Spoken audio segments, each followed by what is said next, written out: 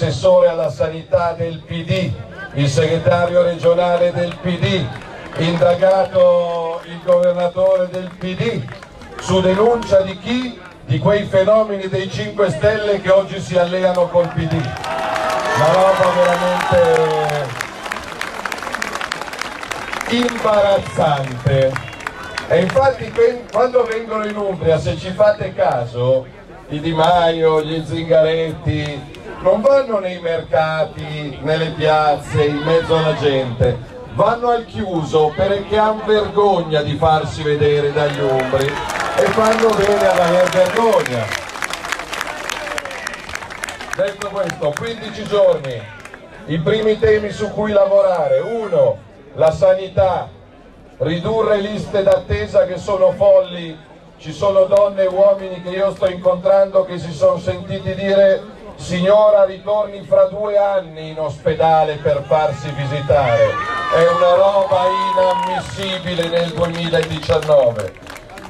Trasparenza nei concorsi pubblici, assumere i migliori a lavorare per la regione, non gli amici degli amici dei raccomandati con la tessera di sinistra giusta in tasca, assumere i migliori e poi chi sceglie il simbolo della Lega fa una scelta chiara per quello che riguarda le case popolari, i contributi regionali, il bonus bebè, il bonus affitto, i contributi pubblici, visto che non c'è tutto per tutti, se vince la Lega, prima vengono gli italiani e poi viene il resto del mondo.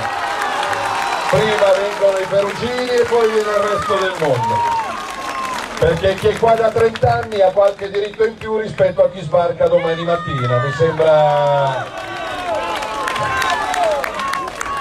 A me sembra una roba normale, per quelli di sinistra invece è un ragionamento razzista, fascista, nazi... No, eh...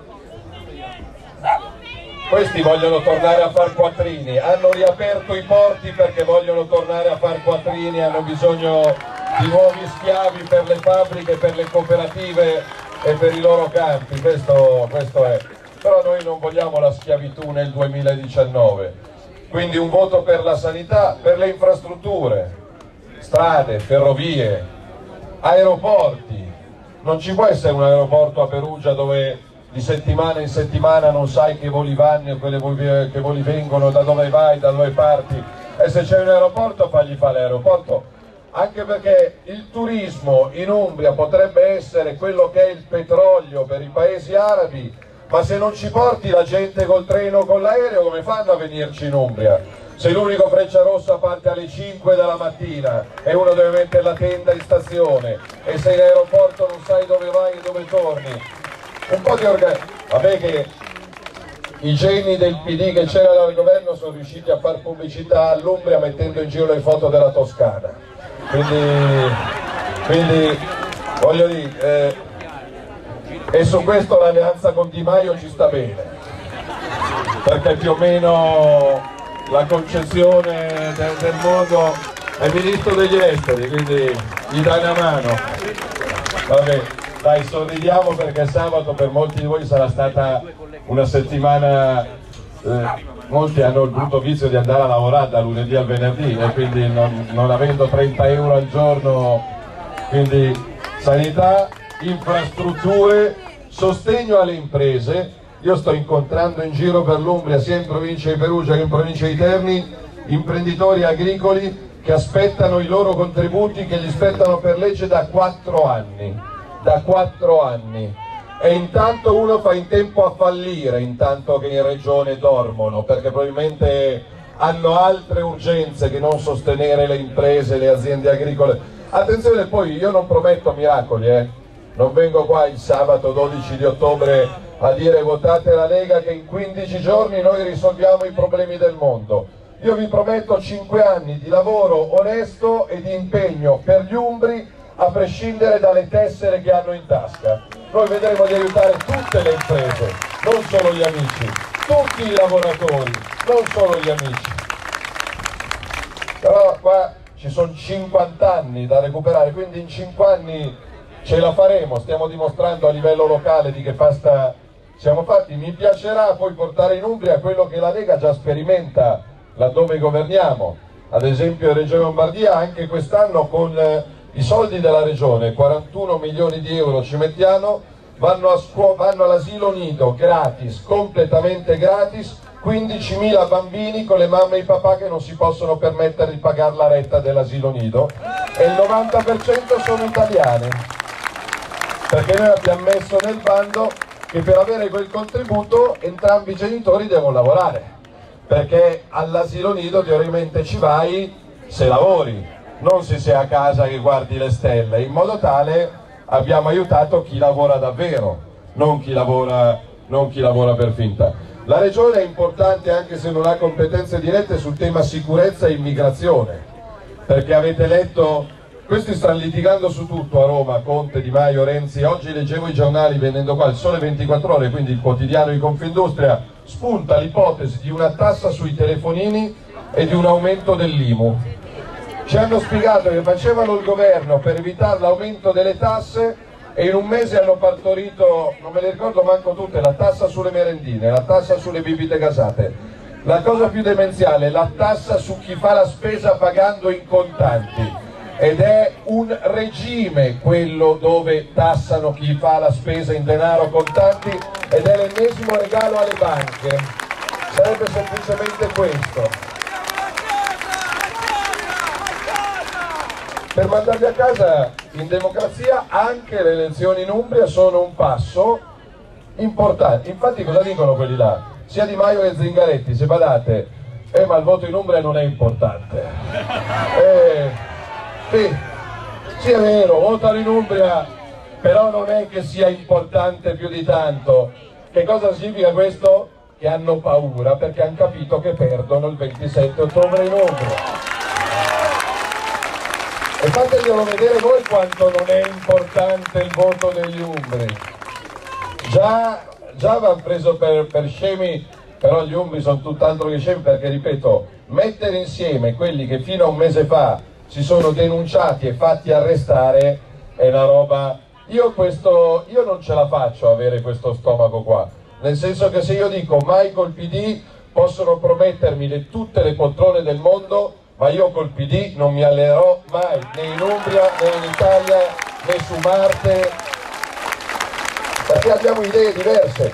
E la cosa che mi riempie di gioia in questi giorni in giro per l'Umbria è che io sto trovando nelle piazze tanta e tanta gente, da Gubbio a Foligno, a Narni, a Spoleto, trovo tanta gente che dopo l'intervento, quando ci salutiamo, ci, ci scambiamo due parole, mi dice Salvini, io ti dico una roba, per 50 anni ho votato a sinistra, ho votato a sinistra perché mio nonno era partigiano, perché mio babbo era operaio, per tradizione, per cultura, per fede, per fiducia, per speranza. E in tanti mi dicono io il 27 ottobre non l'avrei mai pensato nella vita ma non voto più a sinistra perché ormai al fianco degli operai c'è rimasta la Lega e quindi il 27 ottobre scelgo la Lega.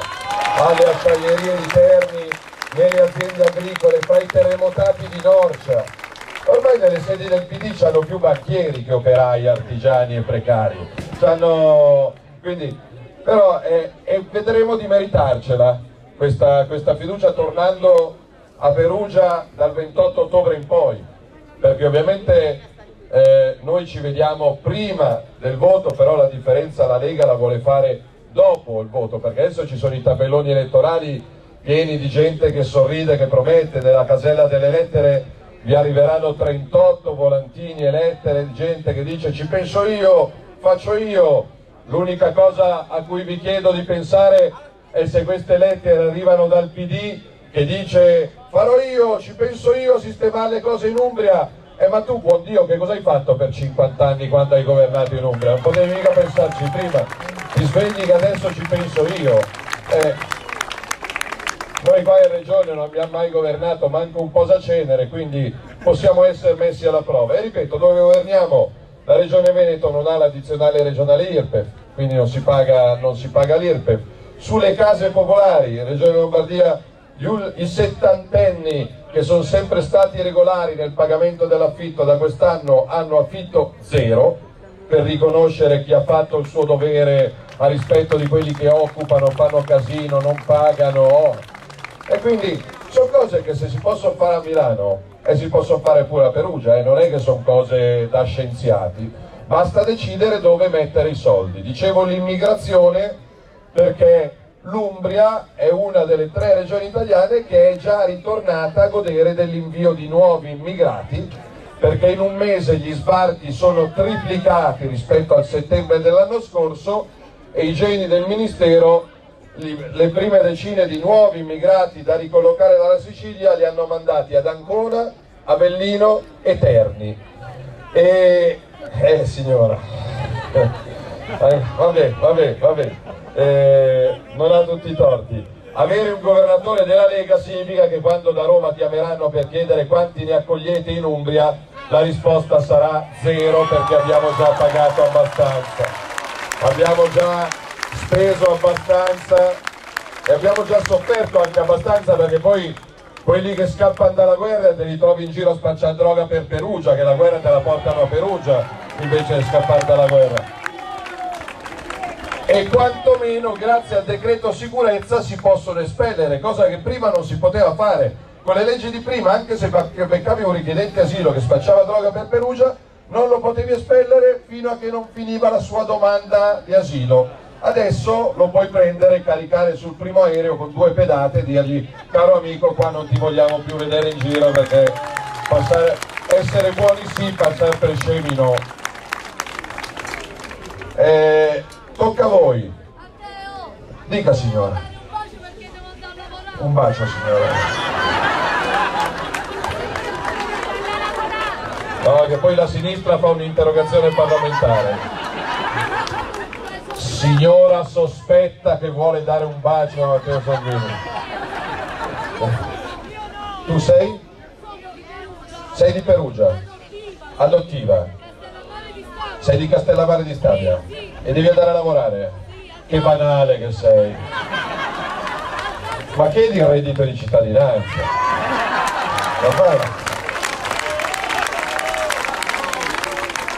Tanto ci pensa Di Maio, dai! No, sto scherzando, sto scherzando. Vai in carcere ora. Fai la coca. Ecco, questo mi permette di ricordare che io fra le tappe umbre sono stato contento di andare nelle carceri umbri, ma non a trovare i carcerati, ma a trovare i poliziotti, per vedere come stanno i poliziotti. A Perugia, pensate che a Perugia ci sono 120 detenuti con problemi psichiatrici, quasi tutti stranieri. Eh, le risorse, quelle della Boldrina, le risorse della Boldrina, eh. Vai in carcere a Perugia, guarda le risorse, poi ne ripari. Però signore, lei deve andare a lavorare, venga però, venga, venga, venga, entri. Tanto non ha la faccia sospetta, sembra una terrorista. Poi l'ho finita anche perché molti per essere qua magari hanno lasciato il banco eh, per, per due minuti io vi chiedo di due cose, le ultime due cose. Uno, di far politica anche quando fate la spesa, al mercato, al supermercato, vi chiedo di comprare italiano, mangiare italiano e bere italiano. Mangiare umbro, bere umbro, perché anche quello è far politica. Venga signora. Come si chiama signora? Rosaria.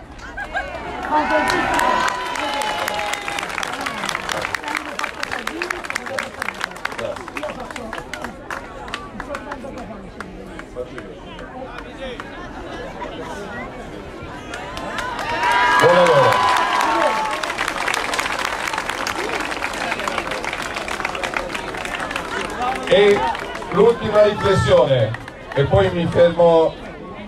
Cosa c'è? Chi è che vuole salutare? No, ma poi io mi fermo. Qualcuno al termine vuole fare una foto? Mi fermo, mi fermo. Una, una, poi mi fermo, giuro, poi mi fermo. Però fatemi, vi, vi, vi faccio però, ho una richiesta io a voi posso farvi una richiesta io, poi ci metto l'anima, oggi facciamo Perugia, poi facciamo Deruta, poi dove andiamo?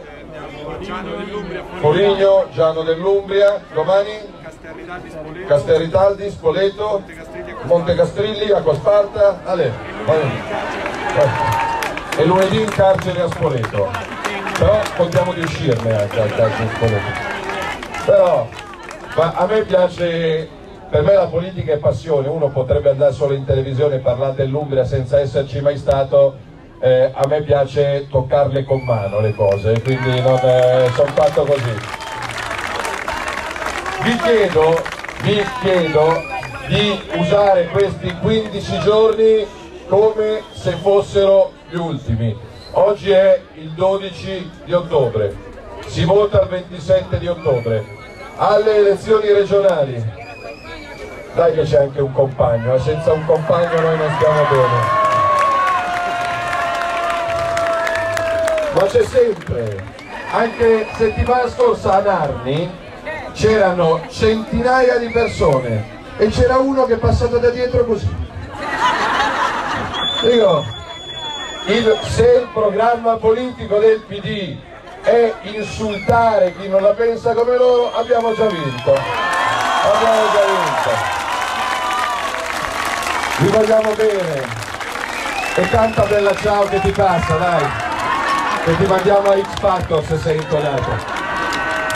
Eh ma mettetemi nei panni di chi pensava che l'Umbria fosse cosa sua e potevano mangiare, truccare i concorsi. Non so se avete letto le intercettazioni, con quella dei concorsi truccati che si lamentava al telefono dicendo mi hanno passato solo le domande ma non mi hanno dato le risposte. Beh, vi hanno preso proprio per dei servi dove potevano fare qualunque cosa tanto per altri 50 anni vinceva la sinistra. Io vi chiedo di trasformare il 27 ottobre 2019 in una data che si ricorderanno i vostri figli e i vostri nipoti la festa della libertà dell'Umbria la festa della rinascita dell'Umbria. La festa della ricostruzione dell'Umbria. Viva la Lega, viva Perugia, viva l'Umbria. E grazie per tutti gli Umbri che sveglerete in questi 15 giorni perché, e chiudo con questa riflessione, l'ultima volta è andata a votare la metà della gente, la metà della gente l'ultima volta è rimasta a casa. Io vi chiedo in questi, in questi 15 giorni di adottare uno, due, tre vostri concittadini, colleghi, parenti, conoscenti, perché questa volta la differenza la fa il voto di ogni singola donna e di ogni singolo uomo. Magari l'ultima volta la metà della gente non andava a votare perché ha detto ma tanto voto non voto ai 50 anni che vincono sempre gli stessi non cambia nulla. Stavolta per la prima volta in Umbria dal dopoguerra ogni donna e ogni uomo di Perugia con la sua partecipazione può scrivere una pagina di storia. Se vi regalate questa giornata di coraggio, io dal 28 ottobre torno in Umbria, e mi ci trasferisco per rendere questa terra quello che merita di essere. Grazie, in bocca al lupo, buona fortuna, buona vita e buona Umbria a tutti quanti. Grazie di cuore e viva Perugia!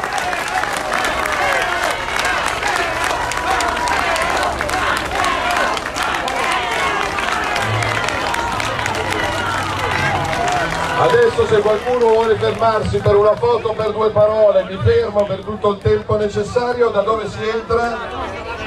Dalla mia destra, ovviamente. Là. Fischiettando bella ciao, mi raccomando. Di là. Amico mio, eh... di lì.